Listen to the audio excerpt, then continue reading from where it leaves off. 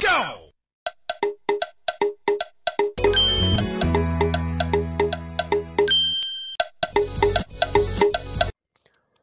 Breaking news.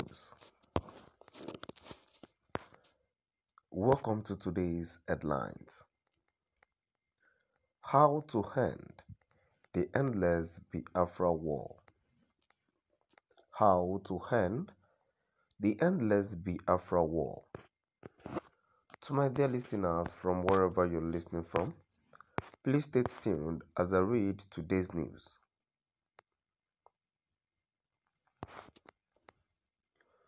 It is 52 long years since the much ballyhooed end of the Nigerian Biafra War.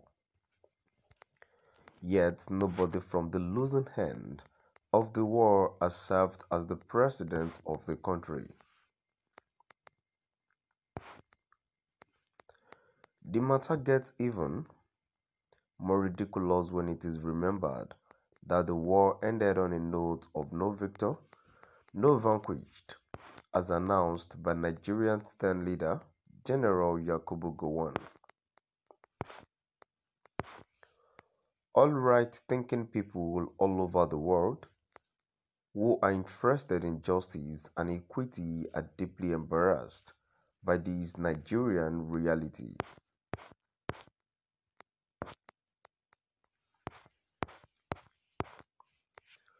It is 52 long years since the March ballyhooed end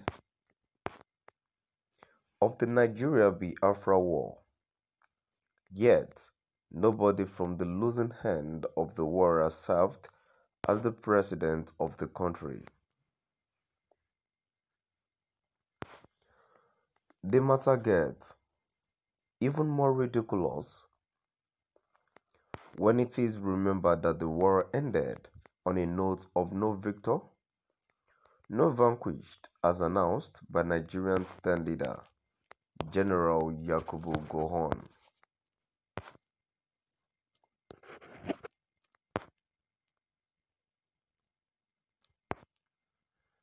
All right thinking people all over the world who are interested in justice and equity are deeply embarrassed by the Nigerian reality.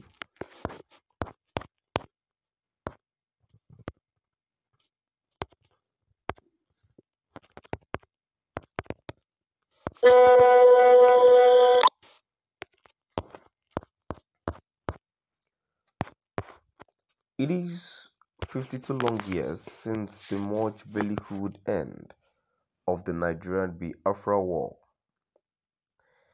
Yet nobody from the losing end of the war served as the president of the country.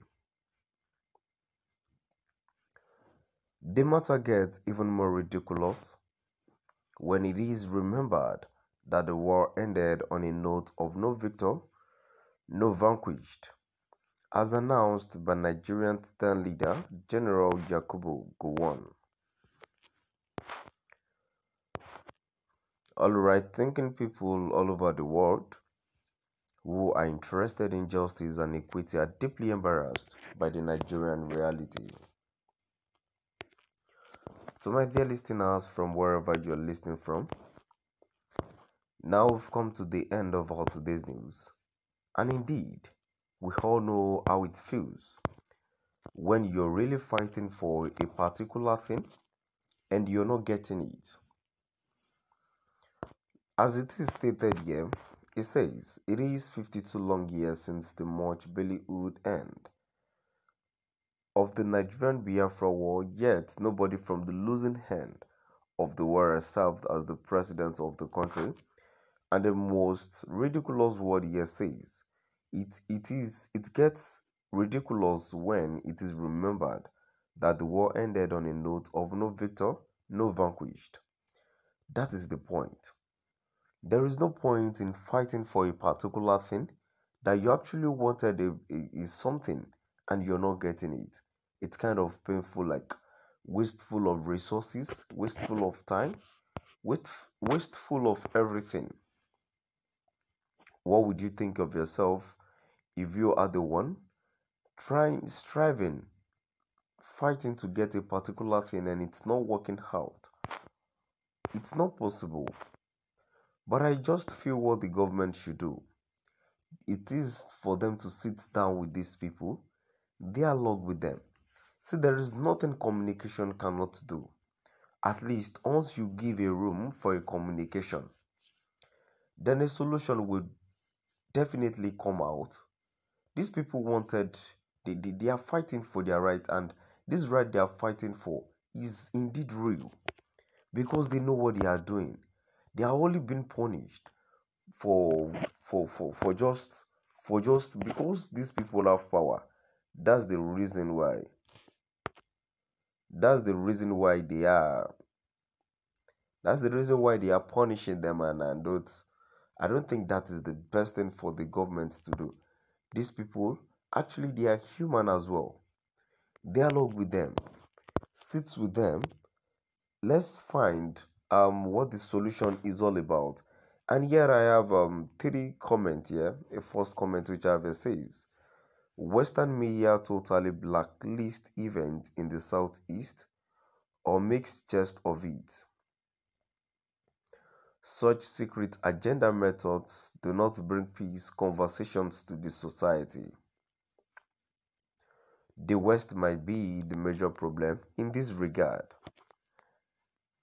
Another commenter says it is good to put record straight. It helps to heal wounds and promote togetherness.